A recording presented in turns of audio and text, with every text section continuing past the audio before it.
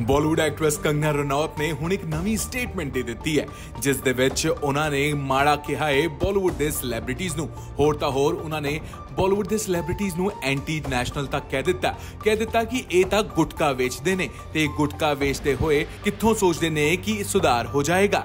ਲੇਕਿਨ ਇਸ ਦੇ ਨਾਲ ਨਾਲ ਉਹਨਾਂ ਨੇ ਇਹ ਵੀ ਕਹਿ ਦਿੱਤਾ ਕਿ ਯੂਥ ਦੇ ਉੱਤੇ ਸਭ ਤੋਂ ਮਾੜਾ ਇਨਫਲੂਐਂਸ ਬਾਲੀਵੁੱਡ ਦੇ ਸੈਲੀਬ੍ਰਿਟੀਜ਼ ਦਾ ਹੈ।